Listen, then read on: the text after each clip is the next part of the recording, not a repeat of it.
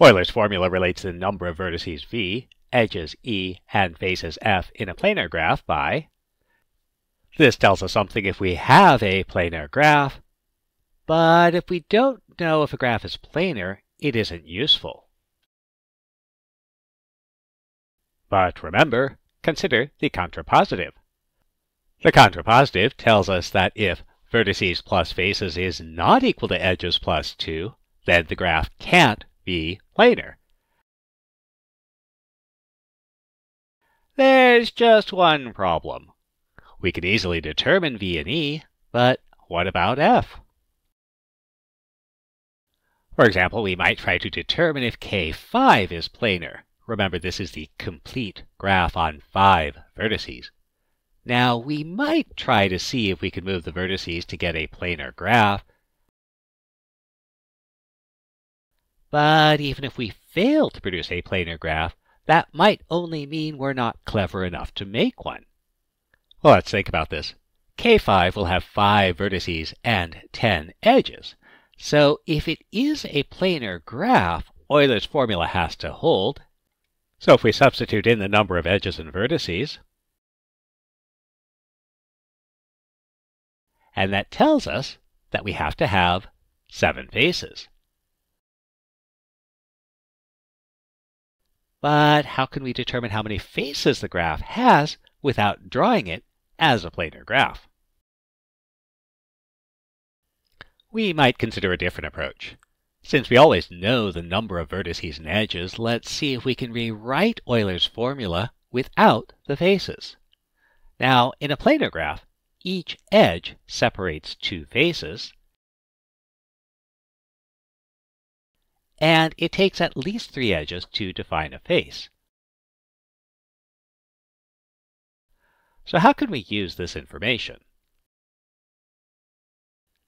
Suppose we number the faces of the graph and let the ith face have mi edges. Now, if we have at least two faces, then each face will require at least three edges. And since each mi is greater than or equal to 3, then the sum has to be greater than or equal to 3 times the number of faces. Meanwhile, an edge can only be on at most two faces. So each edge can contribute at most 2 to this sum, and so the sum of the number of edges along each face has to be less than or equal to twice the number of edges. Consequently, 3 times the number of faces must be less than or equal to twice the number of edges, and so the number of faces is less than or equal to two-thirds the number of edges. And we can use this to rewrite Euler's formula without the number of faces. So substituting into Euler's formula, we'll replace the number of faces with something greater, and simplify,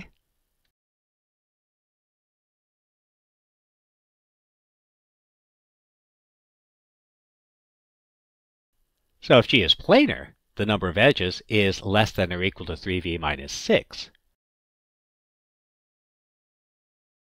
Now, since we often don't know if the graph is planar, we'll take the contrapositive. If E is not less than or equal to 3v minus 6, then G is not planar. Or in other words, if E is greater than 3v minus 6, G is not planar. So let's go back to K5. K5 has 5 vertices and 10 edges. Our theorem has an inequality between the number of edges and vertices, and we check.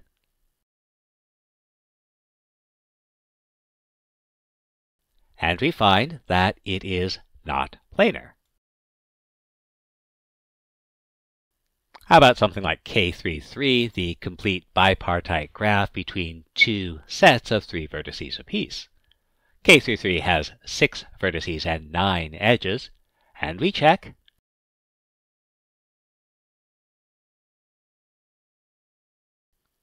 And since the number of edges is not greater than 3v minus 6, we know that K33 is not necessarily planar. Our theorem only tells us if a graph is not planar. So it's conceivable that K33 is planar, but there doesn't seem to be any way to place the vertices so the edges don't cross. Can we prove it impossible? So one other thing to notice is that every face of a planar graph is also a cycle. But since K33 is bipartite, all cycles are even. And what this means is that every face has to use at least four edges. And so if we go back to our earlier analysis, 4 times the number of faces must be less than or equal to the sum of the edges. And we still have the sum less than or equal to twice the number of edges, which gives us, or the number of faces is less than or equal to half the number of edges. So again, replacing this into Euler's formula gives us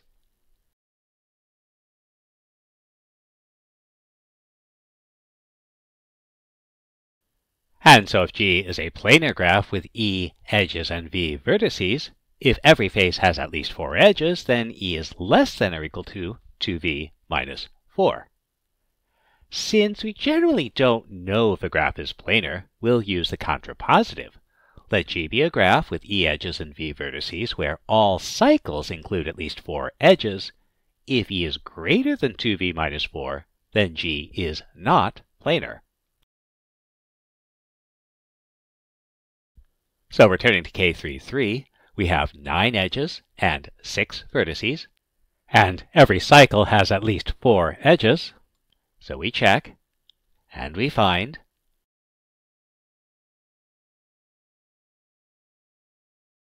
and so K33 can't be planar. Since neither K5 nor K33 are planar, this gives us a starting point for identifying non-planar graphs.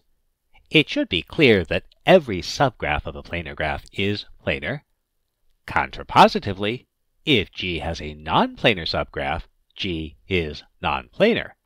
So, if K5 or K33 is a subgraph of G, then G is not planar.